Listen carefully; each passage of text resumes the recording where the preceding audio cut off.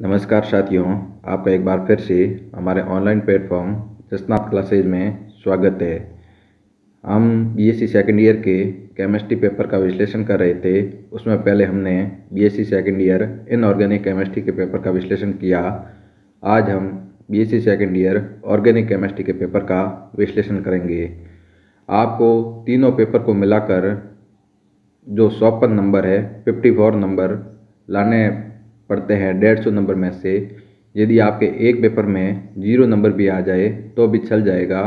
तीनों पेपर को मिलाकर आप मेरे अनुसार ट्वेंटी ट्वेंटी नंबर तीनों पेपर में लेके आओगे तो भी आप आराम से पास हो जाओगे। तो इस बार बहुत इजी पैटर्न है। आपको पार्ट ए में केवल पाँच क्वेश्चन करने हैं, दस में से, और पार्ट बी में कोई भी तीन क्वेश्चन करने हैं, एक यूनिट से दो क्वेश्चन कर सकते हैं। तो दस में से कोई भी तीन क्वेश्चन और पार्ट सी में आपको कोई भी क्वेश्चन नहीं करना है। तो इस बार आपके BSc second year organic chemistry में पाँच यूनिट है। फ़र्स्ट विद्युत चुंबकीय स्पेक्ट्रम सेकंड अल्कोहल तथा फिनॉल थर्ड एडियाइड तथा कीटोन फोर कार्बोक्सिलिक अम्ल ईथर और यूनिट फाइव नाइट्रोजन यौगिक। अब हम एक एक यूनिट के महत्वपूर्ण टॉपिक की डिस्कशन करते हैं। कौन सा टॉपिक आपके लिए महत्वपूर्ण है? अब बात करते हैं पहले यूनिट फ़र्स्ट से। आपकी फ़र्स्ट यूनिट है विद्युत चुंबकीय स्पेक्ट्रम यहाँ पर मैं आपको एक बात बता देता हूँ कि यह यूनिट पूरी आपके जो थ्योरी का पार्ट है, इसमें कोई भी अभिक्रिया नहीं है तो पूरी पूरी थ्योरी है। लेकिन इसमें एक लेमडा मैक्सिमम की वैल्यू ज्ञात करना, यह एक न्यूमेरिकल की टाइप क्वेश्चन है। यह कोई भी स्टूडेंट कर लेता है तो मेरे अनुसार ये यूनिट बेस्ट है। लेकिन लेमडा मैक्सिमम का मान ज्ञात करने का क्वेश्चन हंड्रेड परसेंट आता है। यदि वो क्वेश्चन आप नहीं कर पाए तो इस यूनिट को छोड़कर कोई भी अन्य यूनिट तैयार करें। तो यूनिट फ़र्स्ट विद्युत चुंबकीय स्पेक्ट्रम इसके महत्वपूर्ण टॉपिक पहला है बियर लैम्बर्ट सिद्धांत, व उसकी सीमाएँ व अनुप्रयोग। फिर पराबैंगनी विकिरण या यूवी के विभिन्न प्रकार के संक्रमण सियार संक्रमण है। उनके ऊर्जा का क्रम भी आपको पूछा जा सकता है। बेथोक्रोमिक व hyperchromic shift chromophore auxochrome Woodward व फीजर के नियम से लैम्डा मैक्सिमम ज्ञात करना ये सबसे महत्वपूर्ण है इस यूनिट का वोक का नियम आणविक कक्षक सिद्धांत अवशोषण बैंड अवरक्त स्पेक्ट्रोस्कोपी संक्रमण प्रायिकता हाइपोक्रोमिक व हिप्सोक्रोमिक शिफ्ट मैं आपको बता देता हूँ कि यह यूनिट बहुत ईजी है लेकिन इसमें लैम्डा मैक्सिमम की वैल्यू ज्ञात करना, यह क्वेश्चन इसमें महत्वपूर्ण बन जाता है। यदि ये आपको समझ में आ जाता है तो ये यूनिट पढ़ें। अन्यथा यह यूनिट नहीं पढ़े, क्योंकि पार्ट ए में भी इसी से क्वेश्चन आता है कि लैम्डा मैक्सिमम की वैल्यू ज्ञात कीजिए। और उसके साथ में बेथोक्रोमिक हाइपरक्रोमिक हाइपोक्रोमिक हिप्सोक्रोमिक में से किसी एक की परिभाषा आती है। और कभी कभी आपको यूवी के विभिन्न प्रकार के संक्रमण से भी क्वेश्चन पूछ सकते हैं। तो इस यूनिट में बियर लैम्बर्ट सिद्धांत और लैम्डा मैक्सिमम की वैल्यू और विभिन्न प्रकार के संक्रमण और ये चार प्रकार के शिफ्ट है, इनका कोई भी क्वेश्चन है, वो आप तैयार ज़रूर कर लें और ये भी टॉपिक आप पढ़ते रहें। अब एक बात आपको, जो आपके लिए ज़रूरी है, ये बता दूँ कि इस बार 90 परसेंट क्वेश्चन हैं, पिछले सॉल्ट पेपर में से आ रहे हैं।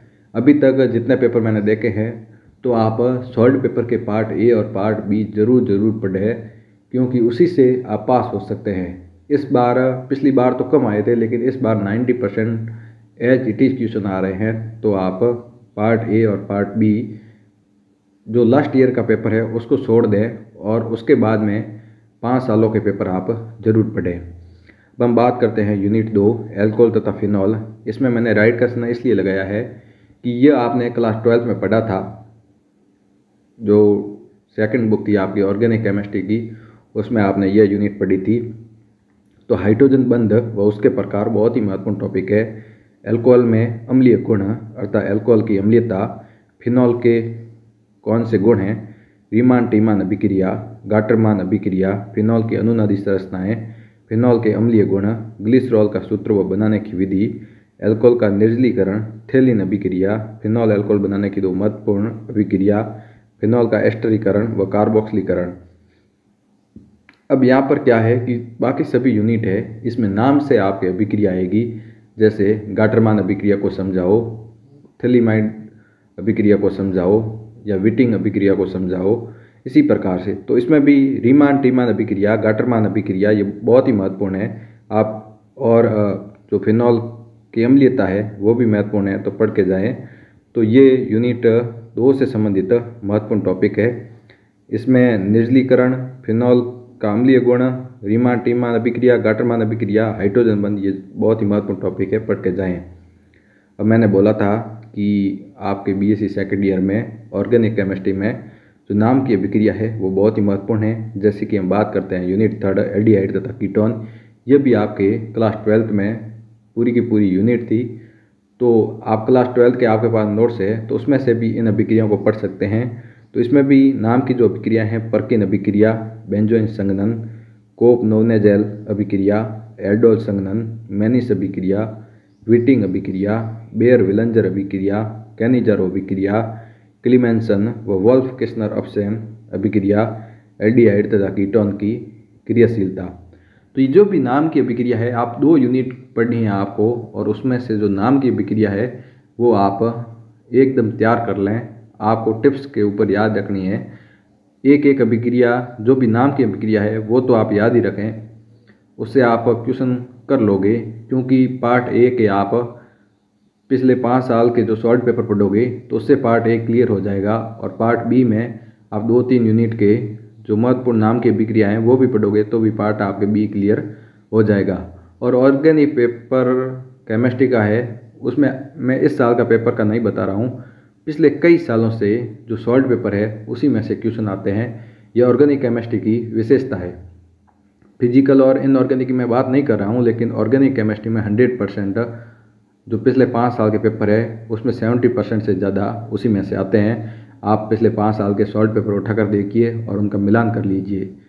तो यूनिट थर्ड एडिहाइड तथा कीटोन इसकी महत्वपूर्ण अभिक्रियाएँ जो नाम की है पर्किन अभिक्रिया बेंजोइन संगनन कोब नवनेजल अभिक्रिया एल्डोल संगनन मैनिस विटिंग बेयर विलंजर अभिक्रिया कैनिजर अभिक्रिया क्लीमेंसन व वॉल्फ किस्नर ऑप्शन एल्डिहाइड तथा कीटोन की क्रियाशीलता, ये महत्वपूर्ण टॉपिक है। कम से कम आप ये टॉपिक तो पढ़ के जाएँ।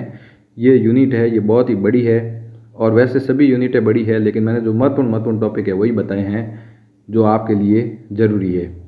अब हम बात करते हैं, यूनिट चार कार्बोक्सिलिक अम्ल, ईथर, एपोक्साइड। ये आपकी यूनिट सोती है। इसमें कार्बोक्सिलिक अम्लों की अम्लता और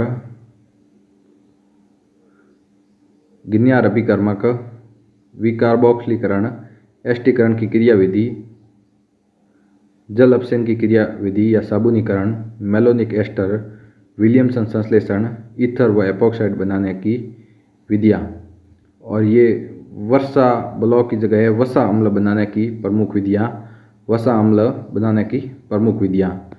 तो ये कुछ यूनिट चार से महत्वपूर्ण टॉपिक है कार्बोक्सिलिक अम्लों की अम्लता, वसा अम्ल बनाने की प्रमुख विधियाँ गिन्यार अभिकर्मक जो भी इस यूनिट में कई प्रकार के अभिकर्मक है तो ये पार्ट में ए में पूछा जा सकता है, जिस भी अभिक्रिया में कोई अभिकर्मक यूज़ आता है तो उसका आप जो फॉर्मूला है वो ज़रूर याद रखें। तो गिन्यार अभिकर्मक विकार्बोक्सीकरण एस्टीकरण की क्रियाविधि, जल अपचयन की क्रियाविधि, साबुनीकरण, मेलोनिक एस्टर, विलियमसन संश्लेषण, इतर व एपोक्साइड बनाने की विधियाँ। तो इसमें कार्बोक्सिलिक अम्लों की अम्लता एस्ट्रीकरण की क्रिया विधि विकार्बोक्सिलीकरण जल अपचयन की क्रियाविधि, विलियमसन संश्लेषण, ये सब यूनिट चार कार्बोक्सिलिक अम्ल, इतर एपोक्साइड से संबंधित महत्वपूर्ण टॉपिक है। वैसे यह भी यूनिट थोड़ी सी हार्ड है क्योंकि इसको तीन भागों में बांटा गया है तो इसमें अभिक्रियाएँ भी ज़्यादा होगी। जितने ज़्यादा टॉपिक होंगे, उतनी ही अभिक्रियाएँ ज़्यादा होगी। तो ये भी यूनिट आप हार्ड मान सकते हैं। अब हम बात करते हैं आज की लास्ट यूनिट की यूनिट फाइव नाइट्रोजन यौगिक। इसमें भी कई प्रकार की अभिक्रिया हैं। एमिनो की सारकता बहुत ही महत्वपूर्ण टॉपिक है। उसके बाद में हाइसेनबर्ग व हाफमैन विधि, हाफमान ब्रोमाइड अभिक्रिया बेंजिन डाई एजोनियम क्लोराइड की कुछ अभिक्रियाएँ हैं। आप चार पाँच अभिक्रियाएँ ज़रूर याद करें, जिसमें से दो विशेष है, सेंडमायर व गाटरमान अभिक्रिया। एरिल एमीन की प्रमुख अभिक्रियाएँ व एरिल एमीन में इलेक्ट्रॉन स्नही अभिक्रिया, लिबरमान नाइट्रोसो परीक्षण, ये बहुत ही महत्वपूर्ण है। ग्रेबियल थेलेमाइड अभिक्रिया यह भी महत्वपूर्ण है। नाइट्रो यौगिक में नाभिक स्नेही अभिक्रिया तो यह है यूनिट पाँच नाइट्रोजन यौगिक। एमिनो की सारकता हाइसेनबर्ग व हाफमैन विधि, हाफमान ब्रोमाइड अभिक्रिया, बेंजीन डाइजोनियम क्लोराइड की अभिक्रियाएँ सेंडमायर व गाटरमान अभिक्रिया एरिलेमिन की प्रमुख अभिक्रियाएँ व एरिलेमिन में इलेक्ट्रॉन स्नेही अभिक्रिया, लिबरबान नाइट्रोसो परीक्षण, ग्रेबियल थेलेमाइड अभिक्रिया लाइट्रोयोगिक में नाभिक स्नेही अभिक्रिया। अब एक बात मैं आपको बता देता हूँ कि आपने यदि थोड़ा बहुत भी पढ़ा है और ये टॉपिक देख लोगे तो आप बढ़िया नंबर लेके आ जाओगे। और अभी भी किसी स्टूडेंट नहीं पढ़ा है तो कोई भी दो यूनिट देख के उसके महत्वपूर्ण टॉपिक पढ़े। और जो जो मैंने अभिक्रियाएँ बताई है, या महत्वपूर्ण टॉपिक बताए हैं, वो एक बार ज़रूर पढ़ लें। आपके आराम से ये पेपर निकल जाएगा। आपको तीनों पेपर मिलाकर 54 नंबर डेढ़ सौ में से लेके आने हैं। यदि आपके ऑर्गेनिक केमिस्ट्री में कम भी आते हैं फ़िज़िकल और इनऑर्गेनिक में ज़्यादा आते हैं तो भी आप पास हो जाओगे। क्योंकि ये आपको ऑप्शन मिलता है कि तीनों पेपर को मिलाकर आपको पास होना है, न कि एक एक पेपर में। उसी प्रकार हम मैथमेटिक्स की बात करते हैं तो 225 में से आपको 81 नंबर लेके आने हैं। वो तीनों पेपर को मिलाकर यदि एक पेपर में आपके पाँच से दस नंबर आते हैं तो भी आपके सल जाता है। तो मार्किंग थोड़ी सी जे में टप होती है, क्योंकि स्टूडेंट के बैक ज़्यादा आती है। तो आप बढ़िया से बढ़िया आंसर लिखने का प्रयत्न कीजिए।